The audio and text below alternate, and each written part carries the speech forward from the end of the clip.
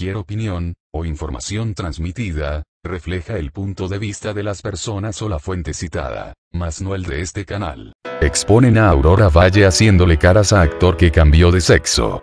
El escándalo no deja a la conductora de intrusos Aurora Valle, pues ahora los usuarios de redes sociales aseguran que la presentadora le hizo muecas a uno de los invitados del programa. Esta semana Maca Carriedo denunció que una de sus compañeras le hizo un comentario homofóbico, a pesar de que no dio detalles, después se supo por René Franco que, quien había discriminado a la conductora de hoy fue su colega Aurora Valle. Tras la denuncia, Maga dejó intrusos y la productora decidió invitar a Carlos Gascón, quien dio vida a Peter en la película Nosotros los Nobles, pues este actor decidió cambiar de sexo y acudió al programa para hablar de su experiencia.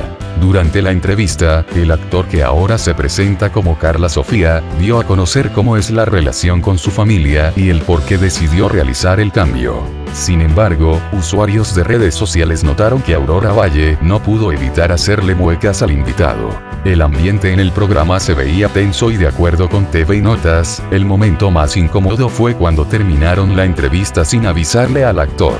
Hasta el momento, Aurora Valle no ha declarado nada sobre el caso de Maca, y mucho menos sobre este incidente. Suscríbete para más videos.